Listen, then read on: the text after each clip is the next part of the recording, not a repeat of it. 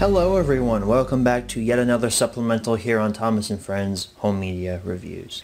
This supplemental is covering another VHS copy of Thomas and the Special Letter. That's why I have the original 90s print of Thomas and the Special Letter here on the screen, just to refresh your memory. If you remember back in the OG HMR that I covered this on, uh, this is the only VHS I had of Thomas and the Special Letter.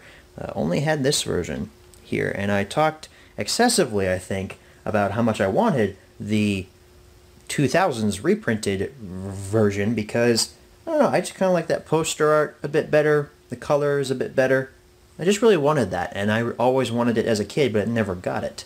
That has changed, ladies and gentlemen. Here it is, Thomas and the Special Letter, the early 2000s reprinted version.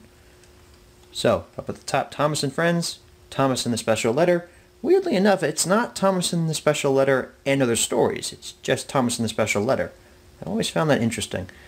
We've got Bertie the bus right there on the front cover, as well as Thomas when he's crashed through the wall, I was always enthralled by this poster as a kid. I think I just really liked the blue-ish, grayish color on the front.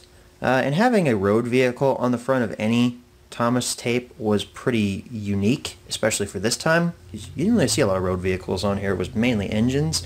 Uh, but that's, that's a cool front poster. The side, Cartoon Thomas, Thomas' Special Letter, Gullane Entertainment, don't drop it there.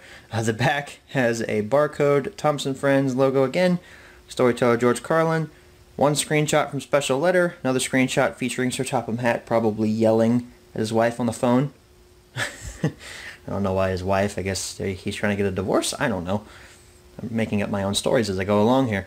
Your blurb about what's on the tape, your story stops, well as your sing-along song, Thomas there off to the side, the Thomas and Friends website link, copyright information down at the bottom. And then your tape is ink label to match the other 2000s reprinted tapes, and it looks pretty good.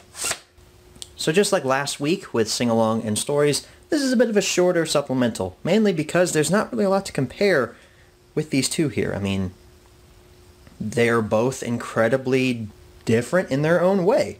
I mean, looking at these two tapes, if you didn't know the titles, you wouldn't think that they were the exact same tape. I mean, this has a green color scheme that's more grayish bluish.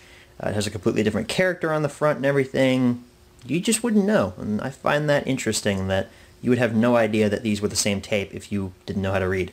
So I want to thank you guys so much for watching. I'll see you in the next supplemental. Good night, everybody.